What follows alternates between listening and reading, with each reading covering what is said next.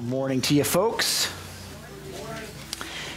We're glad you're here. You know, I always hope, you know, we all have different reasons why we come to church.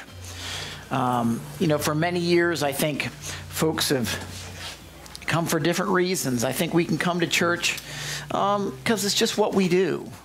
I think we can come to church because maybe a friend or a family invites us, or we can come to church uh, maybe because we're feeling bad and want to feel better about ourselves, or maybe it gives us a sense of community. And, and none of those things are inherently wrong, but the main reason that you and I should be at church and God got you here, however, He got you here, is to know Him personally and to grow in your relationship with Jesus Christ. That's the main reason. The enemy just hates you and doesn't want you to hear what we're going to do right now, which is the Word of God. And, and he wants you to just glaze over it. He wants you to just, ah, here's some nice speaking and forget about it. But not you. God wants to speak to you. He wants you to not only listen, hear, he wants you to listen. He wants you to hear it, to receive it, to live it. Because that's where the difference is made in your life. Times are tougher now, isn't this true? Than they've probably been for most of us anyway, than we can probably remember. And if I if you guys knew what was going on in each other's lives, it's almost over, it, overwhelming. But we have a God who gives us strength and stability and perseverance and perspective in a way like the world cannot ever know. We have a Savior, we have a Lord, and we have the King of Kings to guide us through this minefield of crisis that we're going through right now. So listen. If you have him as your Lord and Savior, you need to do what Miss Neely said and thank him, whether you're here today or you're at home, because you have a faith that is built on the rock, Christ Jesus. And the storms may come, and the winds may blow, and the rains and the waves, but that house will not fall in Jesus' name. Amen? Amen? Now, for those of you who are just here because however you got here, then you need to thank the Lord that God somehow finagled you to get here.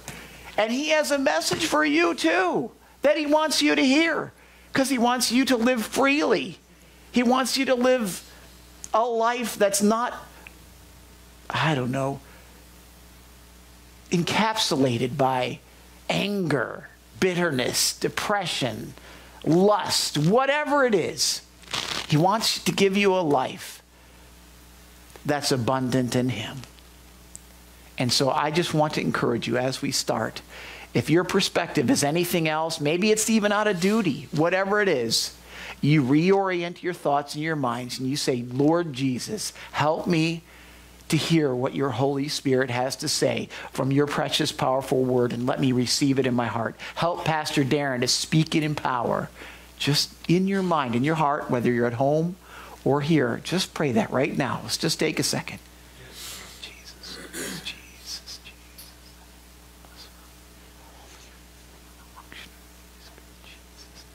Amen. Thank you very much for praying. And thank you for praying with me. Well, we've got a few things to go over today. And first off, our goal is to equip the saints for the work of the ministry. You are the saints, and He wants you to be serving. That's why you're here. You're being trained up with the Word of God so that you can go serve Jesus Christ, okay?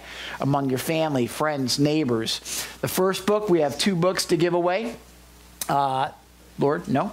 The first one I'm going to give away is this book right here, and I don't know who's doing the camera, but here's what it is Mere Christianity it's by C.S. Lewis.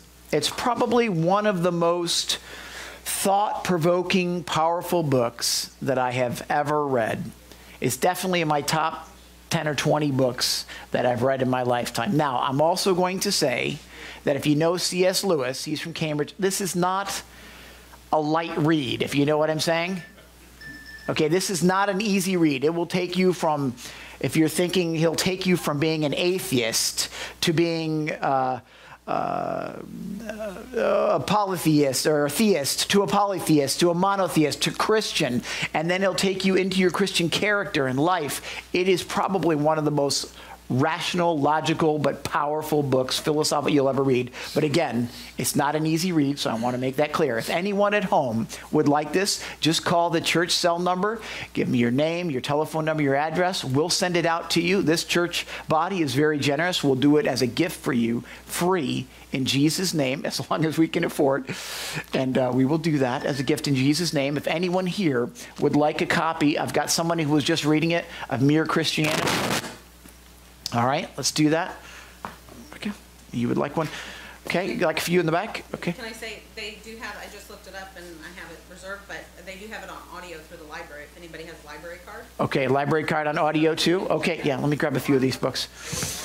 Okay, who else? Okay, oh, I just gave you one too, so we got a few. My gosh, we have so many. You have to read them. Do not take these books and not read them. Okay, yeah, who wants the book? Raise your hand again. All right, all right, we'll get you another. We'll have to get more. You want one too? All right, great. And uh, one, I got to see you in the back there. Okay, Daryl, would you do me a favor? That lovely young lady in the yellow in the back. Yeah, right, all the way in the back corner. All right, we'll get more next week. I didn't realize there'd be so many people who would want to take that challenge. And, uh, and so I'm already out of books. But I have more to give. But wait, there's more. We've been talking about spiritual warfare and what it looks like, what's going on around us in the unseen world. This Present Darkness by Frank Peretti, there's already 3 million copies sold. It gives a fantastic picture of what spiritual warfare is like. We keep handing it out. I handed it out last week and I ran out again. Same folks at home, if you would like this Present Darkness, we are absolutely happy to give it to you as a gift in Jesus' name. If there's anyone here who wants a copy. Rebecca, can I borrow you for a minute? Or Chris? Yeah, either one of you. Thank you. Okay, would you? Oh, thanks. It's all right. Too late. You lost. Okay. All right, now hand those out. And we got a few more, all right? And I don't know if we have enough again. All right? So we're out of books again. So we'll bring more next week. And again, this is for you to read and to be encouraged by. Also, I want to let you know, too, uh, if you guys have not seen this, anybody watch this on Netflix? Okay, yes. couple of you. Okay, so about uh, about half a dozen, dozen on YouTube. Okay, so it's on YouTube or Netflix. Uh, I was uh, Jonathan Bachman, uh, Jonathan and Robbie Bachman do InterVarsity for the colleges here in our area, uh, Ringling and New College and USF, and uh, they came and spoke to the students, and they were so impressed with the kids here at Shepherd's Heart Christian School. They were just uh, they had some wonderful things to say. Anyway. One of the things he said was, "Man, I don't know. Haven't have anybody checked out this on Netflix? You, it's really great. The Chosen." Now, there's, there's two movies on Netflix. One is called The Chosen One, okay, which is a horror film. You don't want that one. Okay, this will be about Jesus, okay? So it'll, it'll have like the Gospel of Mark, it, the Gospel of Luke, the Gospel of John, and it's, it's called a historical drama. It's actually quite good, and here's what we've been doing in our house. Before we turn on, okay, so we watch whatever it is, Jimmy Neutron or Star Trek or whatever, um, we, what we'll do is we'll watch some of this. We've been going through Luke, and it's really been good. And I really want to encourage you, and we even give thumbs up for my 10 year old. We got the double thumbs up.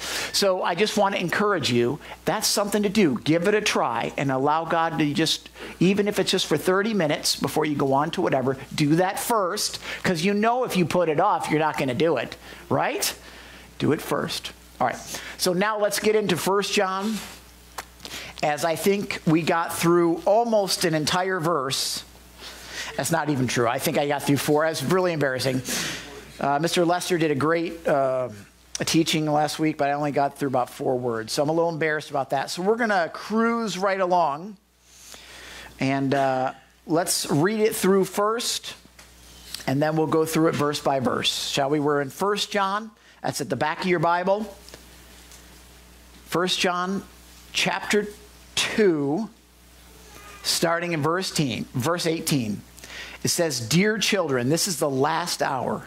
And as you have heard that the Antichrist is coming, even now many Antichrists have come. This is how we know it's the last hour. They went out from us, but they did not really belong to us. For if they had belonged to us, they would have remained with us, but their going showed that none of them belonged to us. But you have an anointing or an unction from the Holy One, and you know the truth. I do not write to you because you do not know the truth, but, be, but because you do know it, and because no lie comes from the truth. Verse 22 says, Who is the liar? It is the man that denies that Jesus is the Christ. Such a man is Antichrist. He denies the Father and the Son. Verse 23 says, No one who denies the Son has the Father, and whoever acknowledges the Son has the Father also. See that what you have heard from the beginning remains in you. If it does, you also will remain in the Son and in the Father. And this is what he promised us, even eternal life. Verse 26 and 27 says, I am writing you these things uh, writing, excuse me, these things to you about those who are trying to lead you astray. As for you, the anointing you received from him remains in you, and you do not need anyone to teach you, but as his anointing teaches you about all things, and is and that anointing is real, not counterfeit, just as it is taught, remain in him. So the apostle John is um, at the end of his life, and he's warning us uh, through this section here about Antichrist. And he starts off in verse 18, or he started off last week, he said, Dear children, and uh, and he's trying to tell us, man, there's a lot of antichrist. There's an antichrist coming, and antichrist. There's a spirit of antichrist uh, that's going on in this world because we battle not against flesh and blood, but against powers and principalities. We know during these last times and these last hours that it's going to get dark. We talked about that last week. The Holy Spirit clearly tells us in these last times, like we're in right now that some will turn away from the faith and they will follow deceiving spirits and teachings that come from demons. Wow. We told you a couple of things as we're going through uh, these teachings. You can leave it on for now we're, a couple things that we told you about, just in case you don't know about Antichrist or Antichrists. Uh, Satan is in the deception business. He's the Satan of Starbucks. It's on every corner. He's got him franchised everywhere around the globe, and he's very popular. Everything he does is made to deceive you. And he started this business all the way back in Genesis, and it's just been growing in, in power and in severity and in populace up until now. And he's a liar. He's been that way from the beginning. We talked about that. That's number one. Number two, when Satan attacks or his demons or his antichrist, that spirit of antichrist comes, he's going to attack your thoughts, your thinking. He's going to attack your emotions, your heart. That's what he does, just like he did from the beginning. Your thoughts will be led astray by this by the deception, by his cunning. That's what he's always trying to do. So you, I, we have to learn not to go by what we think or what we feel. We have to go by what God's word says. That has to be the authority. If that is not your authority, you will always be, the Bible says, washed or moved by every wind of doctrine here and there and everywhere. God doesn't want that for you. You will live an unstable life, you will lead an ungodly life and an unfruitful life. And God doesn't want that for you. So again, Satan's in the deception and lying business. That's all he speaks. It's his native language. He attacks our mind and our hearts. So we have to know his word to combat that when it comes up in our mind or comes up in our heart. He's an impostor. He masquerades himself as an angel of light, so it's not going to be that he's in the, the, the, red jumpsuit with the tail. He's going to make that temptation or make that thing look kind of biblical, kind of right, but not really. Um, that's what he does, and his, his servants masquerade as servants of righteousness. Uh, but their end is going to be a terrible end, uh, and what they deserve, because they're going to be in hell because they've served the wrong Lord. And so uh, when we see dear children, this is the last hour, ora, and we talked about this when he's saying last hour 2,000 years ago, that hora can mean time, like literally an hour, or it could mean a fixed point in time or a fixed season of time. And that's what he's talking about here and, and we showed you some things about how Jesus, it says, wishing this hour might pass at his crucifixion. He didn't mean a literal hour, he meant the end of things, the end when he was going to the cross. Just like he's, they're speaking of the end here. We talked about a lot of us need to wake up from our slumber. We're sleeping because our salvation is nearer than it has ever been before. Times are coming to an end we talked about all of the Old Testament history is pointing forward to the Messiah, to Jesus. And now that Jesus has come and he's died for our sins and rose again from the dead, this is the last time. This is the last hour. This is the last season that we're living in.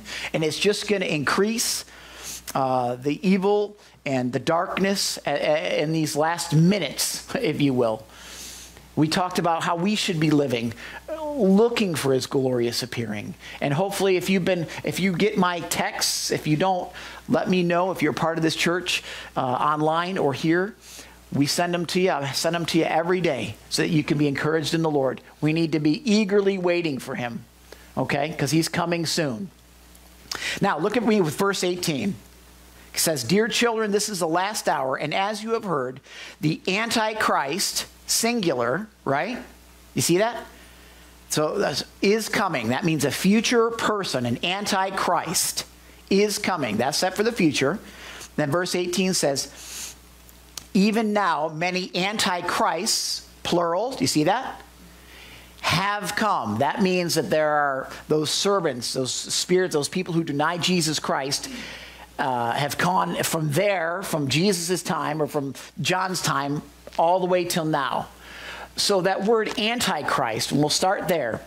That antichrist means anti means like against or opposed to. And it could mean opposite of or in place of. So when John's telling us, hey, you've heard the Antichrist is coming, okay, we can kind of get in, the, in, our mind, it's, it's going to be opposed to Jesus Christ, okay? He's going to be against him. But we kind of get in our mind, and I don't know if you notice this, but like when I think of the Antichrist or what I used to, I'd be like, Pastor Darin, I've seen the movies. I know what the Antichrist is going to be like. He's going to have this ominous darkness in the background, right? And he's going to have red, sort of glowing, crackling eyes. You know, his name's going to be Franco Macalousso or Nicholas Carpathia, if you remember that Left Behind series. You know, Pastor D, I understand he's going to have real sharp teeth, incisors, you know, and he's just going to have this uh, growly voice. I, I understand. That's the Antichrist. And, and what I want you to understand, and when it says Antichrist, and we're thinking opposite, anti can mean opposite of or in place of what we're talking about here and what he's talking about here is in place of. He's going to be against, he's going to be opposed to Jesus Christ, but it's in place of. He's not going to necessarily look like the bad, evil guy. In fact, just the opposite of that. He's going to look like a fantastic guy, like a peacemaker, like a celebrity, like a superstar. Okay? The Antichrist will be a word, just because uh, some people don't know about this, some people do. The Antichrist is going to be a world leader. He's going to direct humanity in what seems to be kind of like a golden age. He's going to kind of like be a savior of the world. And uh, until he shows his true colors. Now, when he shows his true colors and the judgment of God is poured out on him and his empire, that's what's going to happen then. And that's all going to happen immediately before the return of Jesus. Okay? So when we're talking about the Antichrist singular, this is what we're talking about. I, I, put in that he's a political leader, and I don't know for sure if that's true, but he'll have some sort of, I didn't know if I should put world leader, or, but he's going to be some sort of leader. I'll say political, okay? And he's going to organize a world controlling or a world influencing group of nations. And eventually and ultimately, you will be forced to take a mark on your right hand or on your forehead, and you won't be able to go anywhere, buy anything, or sell anything without that mark. They call it the mark of the beast. Even now, Pastor, I find that very difficult to believe. We live in America, you know, How could that ever happen? You know what? Even two years ago, to be honest with you, I, I would be thinking that same thing. But you know what? I mean, eh, there are places right now, right now, just think about this, because of the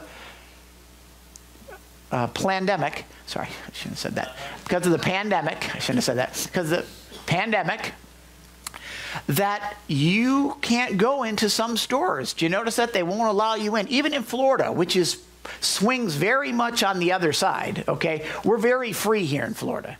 I was listening to a guy in, in England. He says, My kids haven't been outside, haven't seen their friends in six months.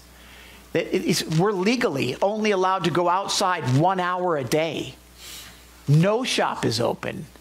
In that one hour a day, you have to use it to buy food or toilet paper. Okay, and if you talk to other people in other states, the lockdown is, is, is much more severe. So you can't even go into some places unless you have a mask. Isn't that weird? So, I mean, I understand why they're doing it, but for those of you who think, oh, I can't, how can I not buy or sell anything without. Pastor Gary is going to be going to see his son get married. Is that correct? Very exciting time. So, in order to do that, uh, if I understood it correctly, the airlines are forcing you to, you have to get vaccinated. They haven't said that, but he's up in Michigan and I didn't want to take it. Okay, okay. But I think, to be honest, we're heading in that direction. Interesting, don't you think? So when I see some of these things, I, am not surprised now by it at all. Is even now, national leaders and they speak of a new world order or a global community. Okay, you guys might have heard these terms, right? I, I, I listen. Say what you want about, you know, Trump the man, but I tell you one thing I do like was his policy. He wasn't super happy about the UN and us becoming part of this global community, right?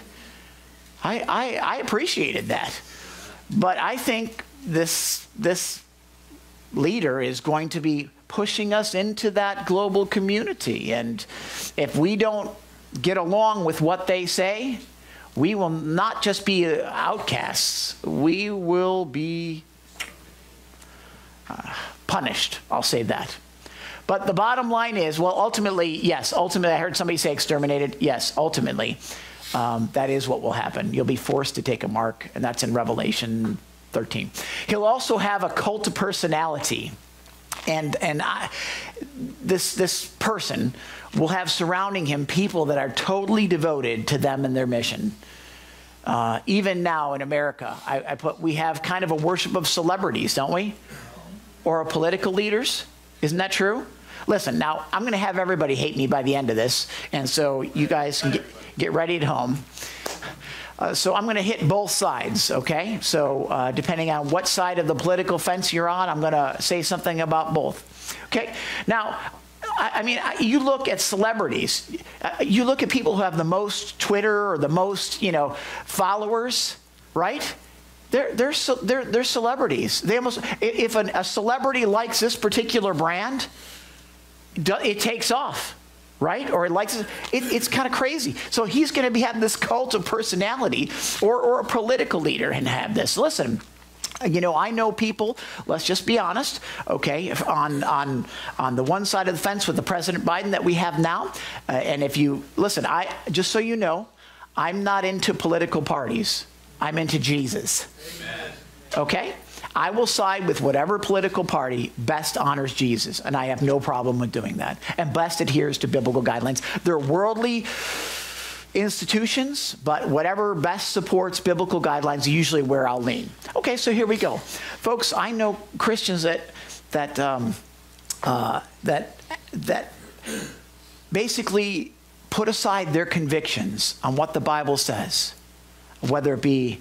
Uh, if you've watched uh, this, this current president, uh, and again, our job is to pray for him as Christians, uh, he is the most uh, anti pro life president and immediately started uh, so most pro abortion president I, I, have ever seen with executive orders going back and the killings of life and babies around the world. It, it's, it's terrible thing. S- such a, a, a pro.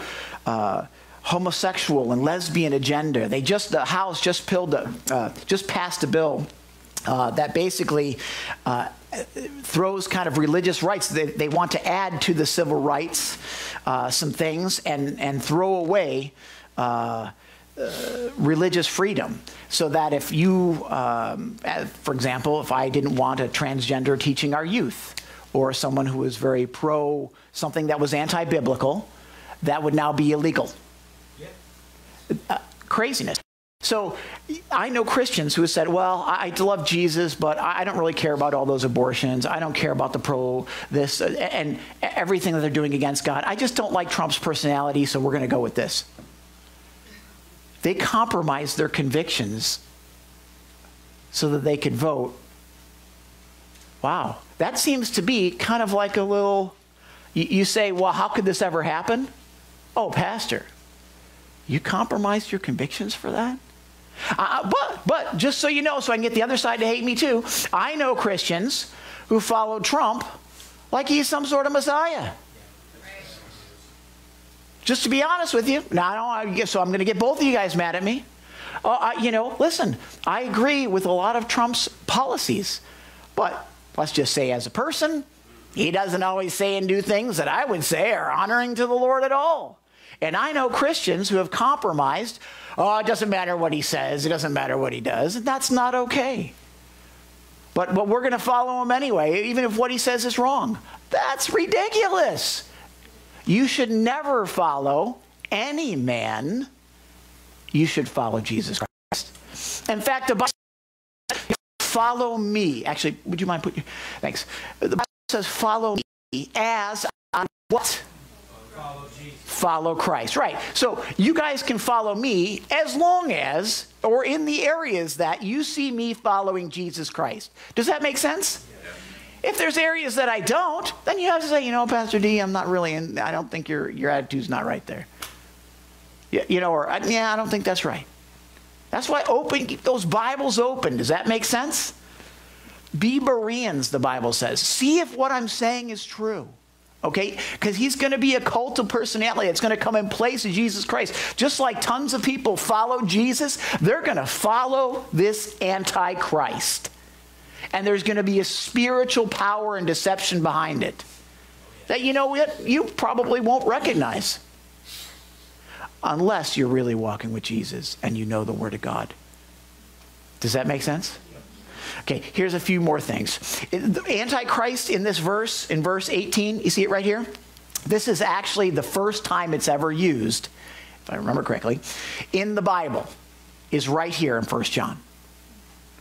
In fact, the only times Antichrist is used, it's, it's five times, right, uh, in these four verses. All right? So uh, it's used in 1 John chapter 2, verse 18 here, verse 22, uh, 1 John chapter 4, verse 3, and also 2 John, oh, it is 2 John, yeah, 1 7. But even though it's infrequent that the Antichrist is, is it's being used, okay, it, it's still uh, an important one. And it goes by other names in the Bible. So in the Bible, the Antichrist goes by many titles, okay? So when he exposes himself, all right, just as and creates that abomination that causes desolation, okay? The Antichrist goes by many titles in the Bible. He is called the little horn and the mouth that speaks great things in Daniel chapter 7, verse 8. Listen, we went through the entire book of Daniel together just a couple years ago. Okay? If you haven't heard that, you can find it on the website. It's not on video, it's on audio at, at homefellowshipchurch.com. We're having a little bit of problem getting people on the phone because we just transferred over our website, but you can look at that. Um, he's called, he is the fierce looking king and a master of intrigue. Daniel chapter 8, verse 23. He's called the prince that shall come in Daniel chapter 9, verse 26. He is the king that shall do as he wills and exalt and magnify himself. In Daniel chapter 11, verses 36 to 45. He's also mentioned in Daniel, Daniel 12, 11 and Matthew 24, 15. Do you want me to do it? Um, yeah, I'll just keep going. He is also called the one who comes in his own name in John 5 43. And lastly, he's called the son of perdition, and that just uh, the man of sin and the lawless one in Second Thessalonians chapter 2 verse 3 and also chapter 2 verse 8. So and that son of perdition means perdition just means like the punishment like eternal punishment. So he's the son of eternal damnation or eternal punishment. That's who this antichrist is going to be. Okay?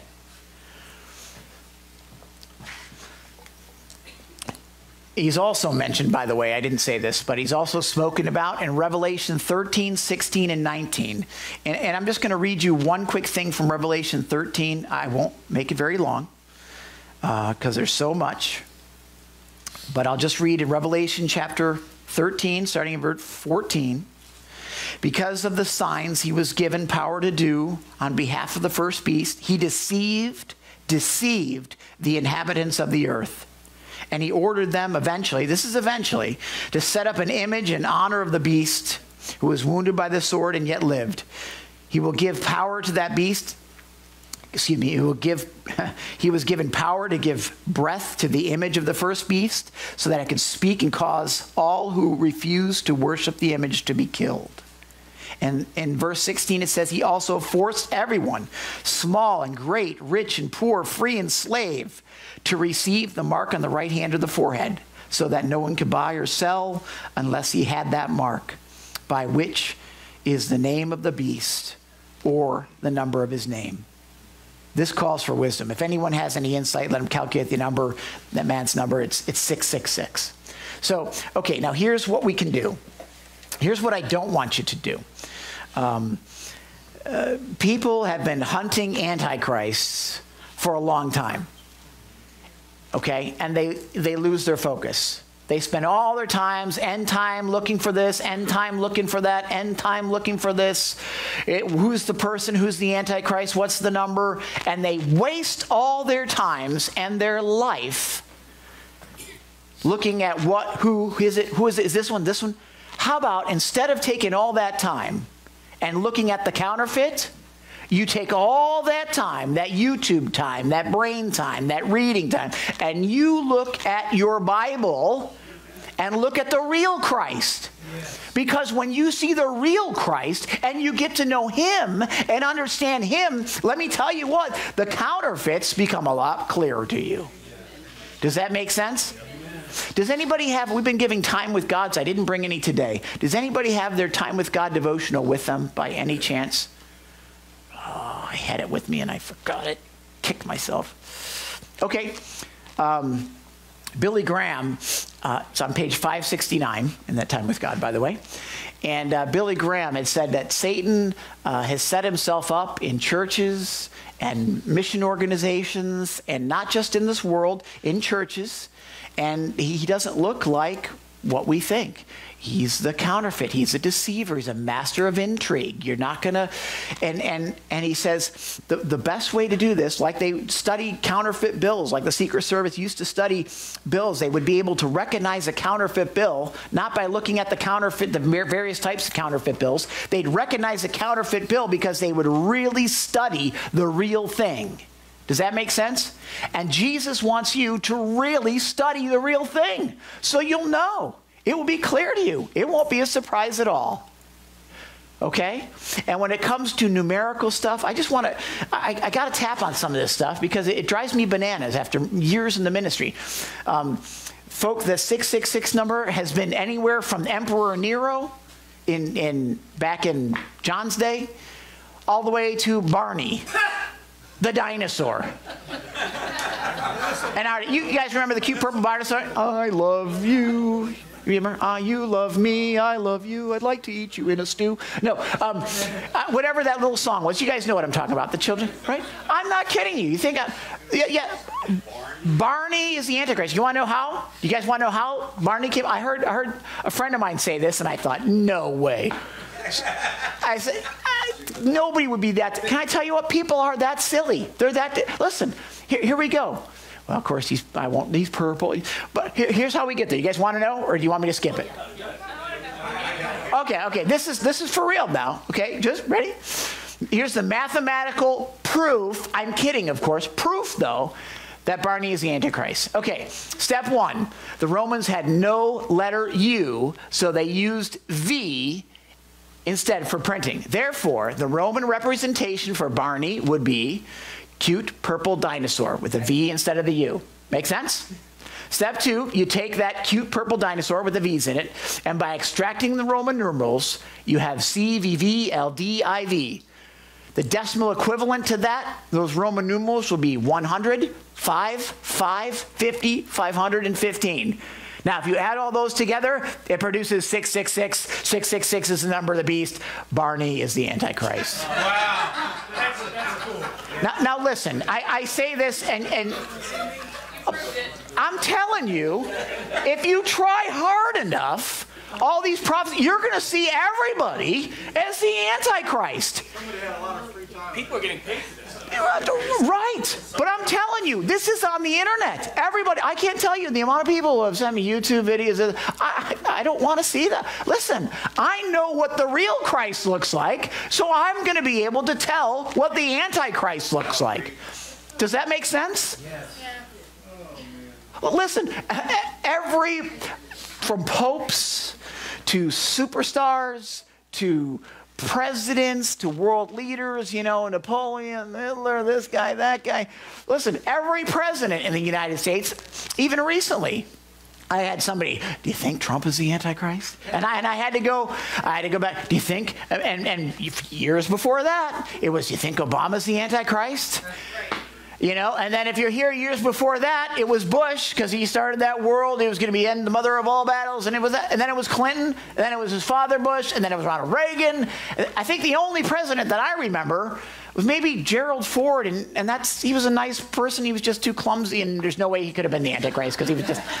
But he was about the only president that somebody didn't think he was the Antichrist. I guess the point that I'm trying to say is Oh, wonderful, loving Christians have spent tons of time wasting their life and their time seeking all these things instead of just getting into the Word of God, which will strengthen you for all eternity. Heaven and earth will pass away, His Word will never pass away. Does that make sense? Capiche? Now, listen, and here's the thing if you've believed some of these things, I want you to know I'm not making fun of you. If you are, if you like Trump, if you like Biden, the reason I'm saying these things is because I want everybody to know equally that we're not to follow any man, we're to follow Jesus Christ. His heart, his word, his spirit. Does that make sense to everybody? Not downing anybody. Maybe you've been duped into thinking this one is or that one is.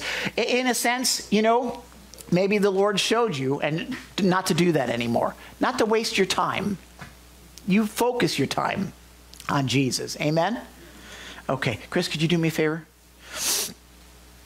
Thanks. Would you give this? I don't know how to turn it on, but if you turn it on and hand it to uh, that young man, actually, I should say that older man.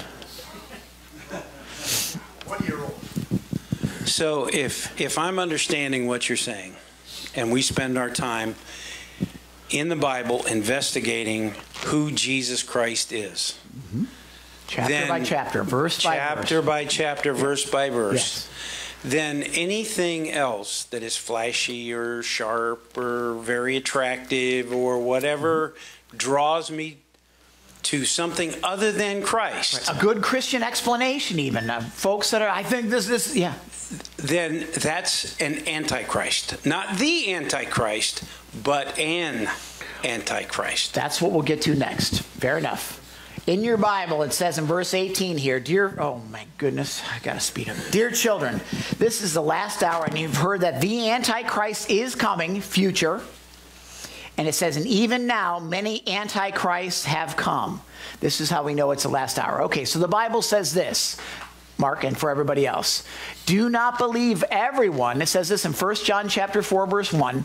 Do not believe everyone who claims to speak by the Spirit.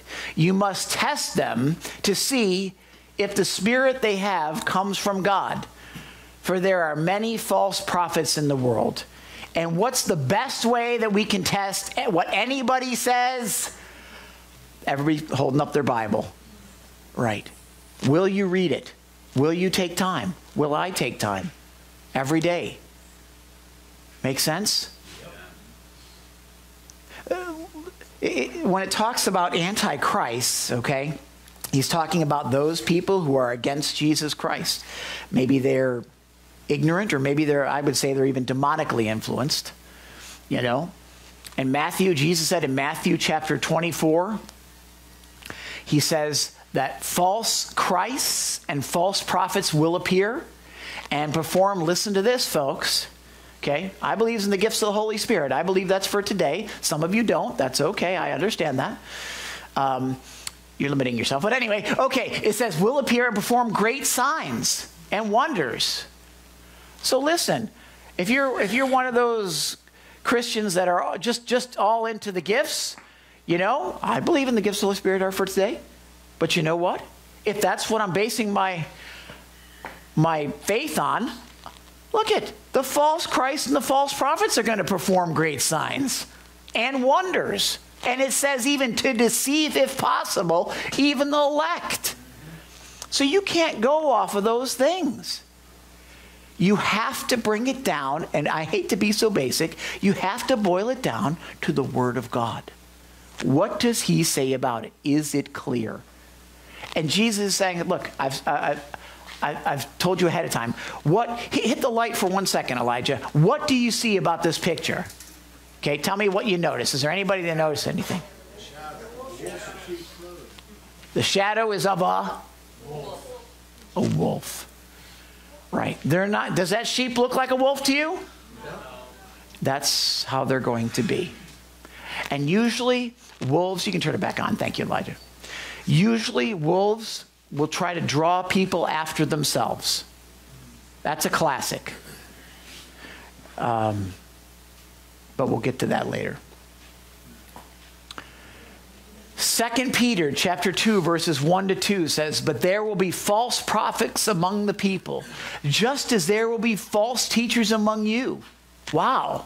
Not just false prophets, but false teachers, pastors, Bible study leaders, people on YouTube.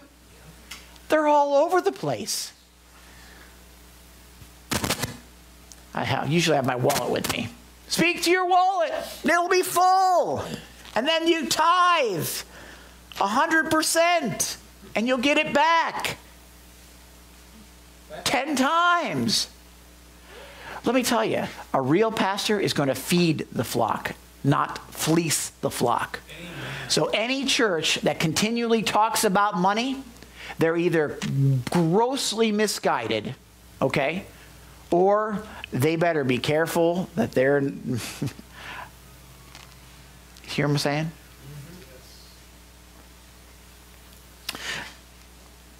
Neely did this years ago. I think it was for our Daniel study. I can't remember now. Miss Neely did this. And I don't know if you can see this picture pretty well. See all the sheep sitting there reading their Bibles? Listen, we used to have pews just like that in here before we got you guys all comfortable. But, you know, uh, and they're reading their Bibles. And if you look for that one, the little wolf in the sheep's clothing. Jesus said in Matthew 7 15 to 16, this is in the Living Bible Beware of false teachers who come disguised as harmless sheep, but are wolves and will tear you apart. You can detect them by the way they act, just as you can identify them by their fruit. Are they showing love, joy, peace, patience, kindness, goodness, faithfulness, gentleness, self control? Right? Paul even said, man, he said, he says this. He said in Acts chapter 20, verse 9, he said, I know that after I leave, savage wolves are going to come in among the flock. Will come in among you and not spare the flock. They're being sent to do that. They want to cause division. They don't want you to be at a good Bible teaching church, whether it's this one or another one.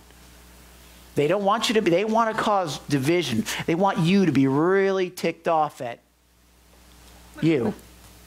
They want you to be really ticked off at her. They want you to be really ticked off at the friends. You hear what I'm saying? They want you to be really mad at me. or Neely or Pastor Gary because he didn't wear his eye patch. I don't know. Whatever the reason. He didn't bring barbecue to the men's meeting. So listen, so when there's an opportunity, listen, to join the prayer group if you can, and I realize some of you can, Sunday mornings, why don't you come and see miracles performed? Why don't you just join us? Yeah, it's out of your comfort zone. So what? Why don't you come to the women's group? Natalie, okay, they're going to even serve you food. And if you don't have a babysitter, we'll be happy to try to help provide finances for that. How can you do that? Being because we love you and we don't want you to miss it if you feel the Lord's leading you. Come to the men's group. Go through verse by verse with Pastor Gary. I love it. There was a time when I came to support Pastor Gary. Now he's become such a good teacher. I just enjoy being there. I'm getting just, I'm chowing down on pizza and, and also the Word of God. Look, look back in your Bibles with me. It says that, uh, verse 19, they went out from us, but they did not really belong to us, okay? They would have remained with us, but their going showed that none of them belonged to us. Okay, so they're going to come from without, right? Savage wolves, but they're also going to be come from within. People are going to want to pull people after themselves. the Bible says this in Acts chapter 20, verse 30 and 31. He says, even from your own number, that's the us, right? Even from your own number, men will arise, and that could be men or women, will arise and distort the truth in order to what? Draw away disciples after themselves. Here's what the Bible says. So be on guard. Watch out. Look out. Remember that for three years, Paul is saying to these Christians, I never stopped warning each of you night and day with tears, and I warn you the same way. So hear me in Jesus' name. There are plenty of churches that are putting out those carrots for you. They make it look so fantastic. Look what they have. Look what they don't listen. And when it says us in verse 19, he's talking about the church, right? The body of Christ. Now, for those of you who don't know, when we talk the church, oh gosh, that text did not transfer over well. Oh, that's a bummer. All right, so we're talking, we can be talking about two things. There's a universal church. Sorry, the text from my PowerPoint to this one, obviously, I chose the wrong one. Should have been Calibri. I was. Anyway, when you become a born again Christian, you become a member of the Universal Church of Christ, right? And the Universal Church is considered the assembly of everyone, past, present, and future, that belongs to Christ's kingdom. Everybody understand that? Okay, but there's also a local church, okay? And once a person is saved, God wants us to belong to a local body. Like in Corinthians, he says that there's different gifts he gives to each one of us, okay? And and and so once we're saved, we're supposed to go to a local church, okay? And we're to be taught the Word of God. We're to come together where we can be taught and learn and grow uh, to love and serve the Lord and serve others. That's what we're here for. So when we're talking about us, when it says this, hit the light, please. When it says in verse 19, they went out from us, but they didn't belong to us. For they had, if they'd belonged to us, they would have remained with us but their going sh- showed that none of them belonged to us. Now, I've had some churches, even in our area, when the, people have left their church, the pastor had got up and said, Use this verse. They went out from us, but they never really belonged to us. And, and you know what? That church, quite frankly, it's still around, is quite popular because everybody's scared to leave that church. that's the truth. They don't say that, but that's why. In fact, uh, I was going to tell you. Uh, let me just say the initial pastor died, and one of their children uh, came to me and was in tears. And I, I explained this verse to them because they said that that's what their dad used to do to keep. Anyway. And she said, I didn't know that it was it, what he's talking about is the universal body of Christ. In other words, if somebody leaves us and doesn't come back, right? then okay, they were never really of us. So if somebody says, I'm saved, or they get baptized and they get, you know, and then they, they walk away from they were never really of us to begin with. Does that make sense? They left the faith, exactly, the universal body of Christ. So, listen, as a local body, okay, we're not, st- it does say in Hebrews 10 25, this is very true, especially now with COVID and Corona. Everybody, I have a hangnail. Oh, I need to stay home, Pastor. Oh, I'm, I, I'm this, I'm that. Listen, I, I, not, I don't want to make it about us, but, you know, how do I say this? Uh, Lord, tell me not to say that like that. Okay regardless of what is wrong, God wants you in a local fellowship to grow. If you're at home trying to be your own Christian at your own house and that's all, that's how you like it, or you have a couple friends, that's not what he, he says, let us not neglect, neglect our meeting together as some people do, but encourage one another, especially now that the day of return is drawing near. Now more than ever, our flesh wants to be apart, right?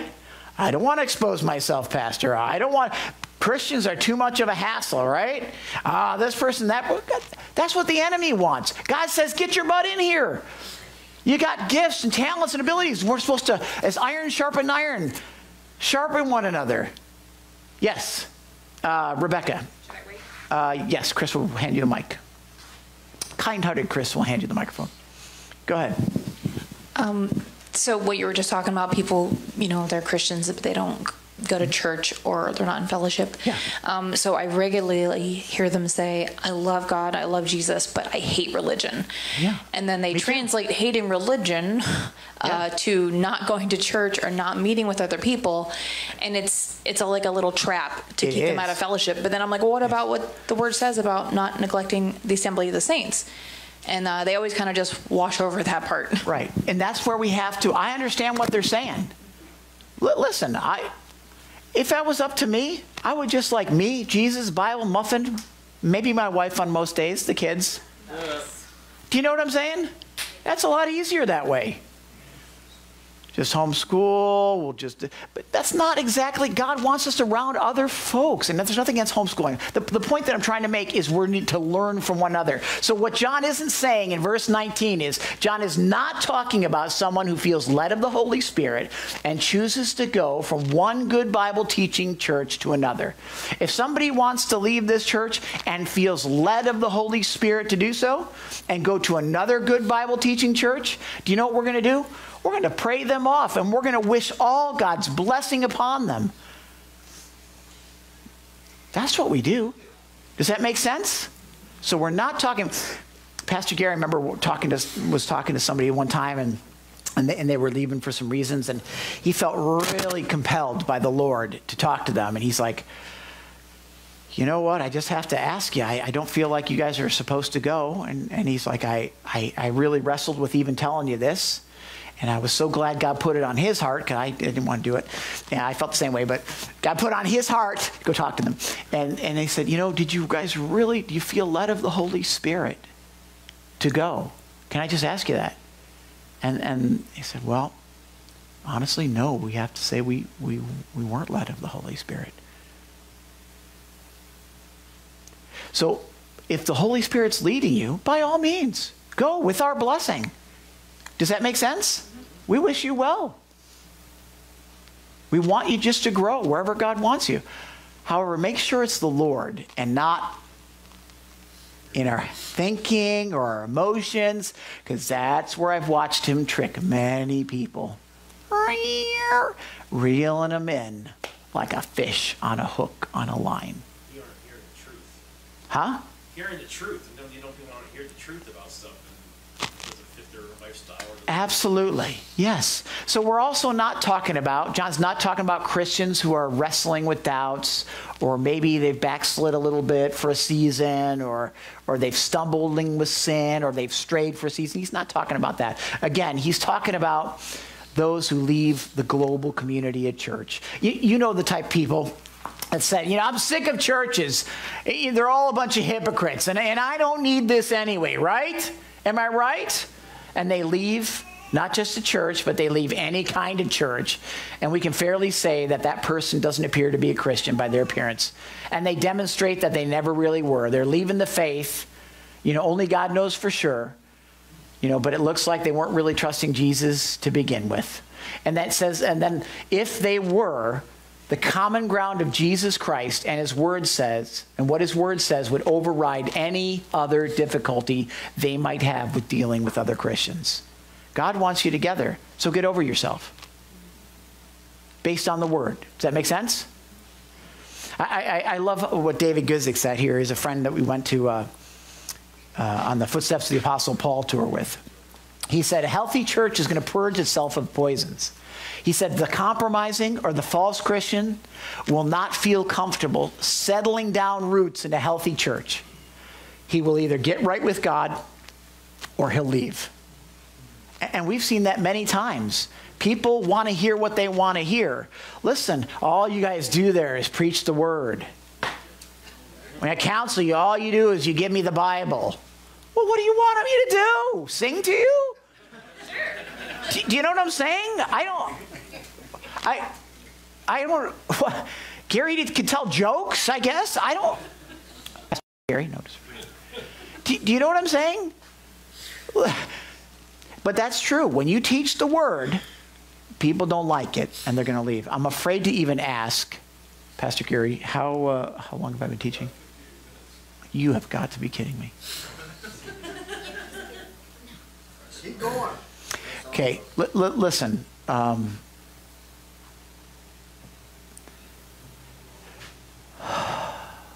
Jesus. Okay, give me a couple more minutes. I, I, I did pray. I, I'll never get through this the whole thing, so I'm just going to give you a couple more verses. Here's what the Bible says in 1 John 2:20. You have an anointing from the Holy One. And all of you know the truth. He's speaking to Christians, okay? So listen. God is saying that you have been anointed. In the Greek, that word is charisma. You might have heard of it. Okay, it, it, some of your Bibles might say unction or anointing.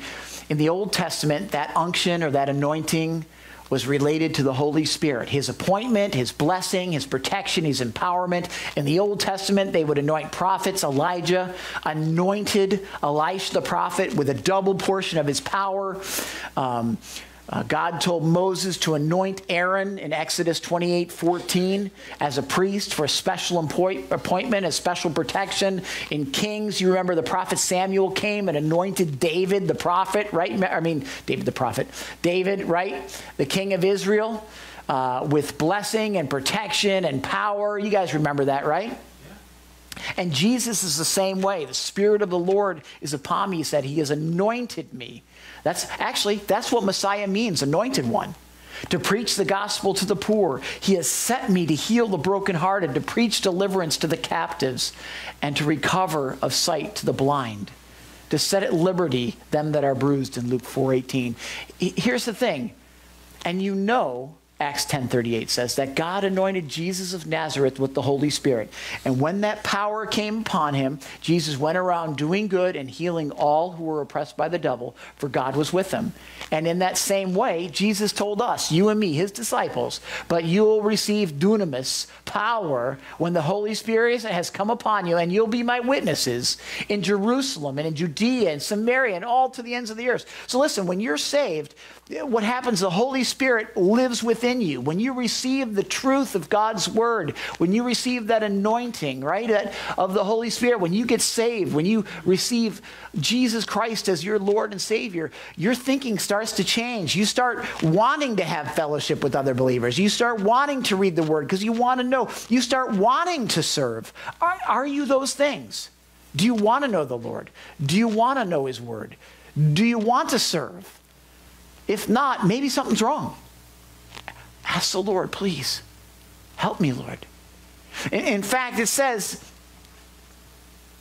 I'll leave it. Okay, Lord, tell me to stop it right here.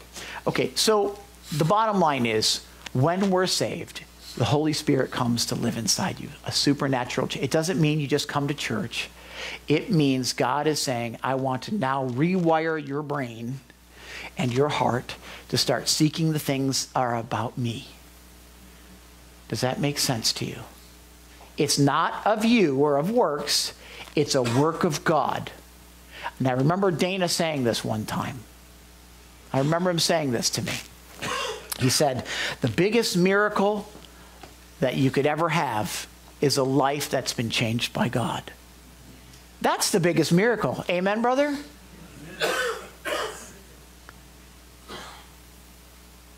You have an anointing from the Holy One.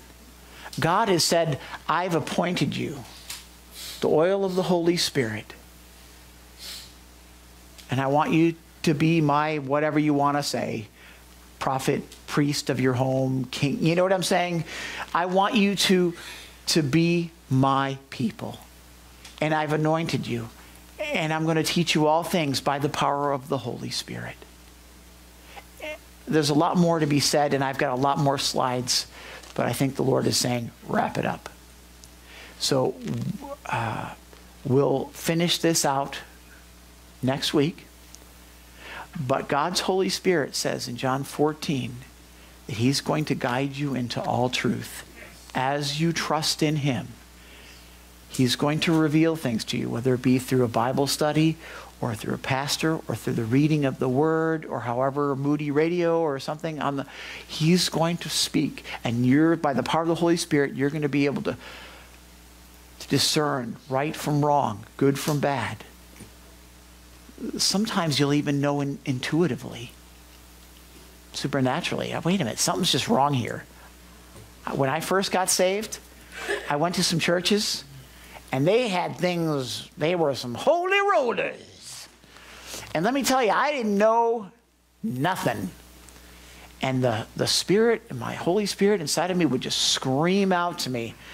I wouldn't even, I would, this is so wrong. Get out, get out. And I'm like, uh, I'm hearing this in my head, and it all sounded nice to me. Everybody's happy. There's lights and lasers, and and, and and now looking back, now I understand what they were saying from the front, and it wasn't right, or it was the wrong heart attitude. I didn't even know, but God's Holy Spirit was so faithful to guide me where I needed to be, and He's really faithful to guide you where you need to be if you're willing. Are you willing, brothers and sisters? Are you willing to be led by the Holy Spirit and to be trained up by the Word of God? If so, can I ask you, please humble yourself before the Lord and ask Him to do whatever it takes in your life to train you, to teach you, to be able to recognize good from evil, Christ from Antichrist in a darkening world. Amen? Amen? Let's pray, okay? Father God, I want to say thank you from every single person that's here. Bless them, encourage them, strengthen them in the name of Jesus, Lord. We need you now more than ever, Lord God. As the darkness comes in and rationale seems to be going out the window, Lord, let your truth be a firm foundation for us. Let us let it not let's not be taking it in a self-righteous way, but just in a humble, standing firm kind of way.